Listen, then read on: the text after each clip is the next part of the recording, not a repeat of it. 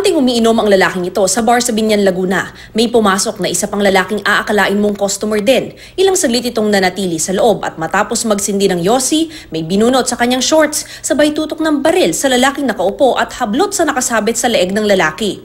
Pero tila mali ang nakuha ng salarin kaya bumalik ito. Inilapag sa mesa ang una niyang kinuha, sa kamabilis na hinalughog ang bag ng lalaki. Susi pala ng nakaparadang motorsiklo ng lalaki ang target ng salarin. Tinangay nito ang motor. Nai-report na ang insidente sa pulisya. Sa Dipolog City, Zamboanga del Norte, isang eskwelahan ng nilooban. Nakita sa CCTV ang isa sa mga sospek na pumasok sa faculty office habang ang dalawa at kasama nilang menor de edad nagsilbing lookout sa labas. Hindi nakuna ng CCTV pero tinangay nila ang isang computer monitor. Nahuli sa follow-up operation ang mga sospek.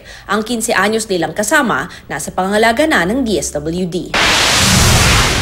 Nahuli kam din ang pagnanakaw ng isang binatilyo sa Dagupan City. Sakay ng kanyang bisikleta, palingali nga pa ang salarin habang palapit sa target ng motorsiklo. Ilang beses pa siyang tumingin sa paligid bago kinuha ang nakasabit na helmet na may kasamang jacket. Patuloy pang pinaghahanap ang salarin. Mav Gonzalez, GMA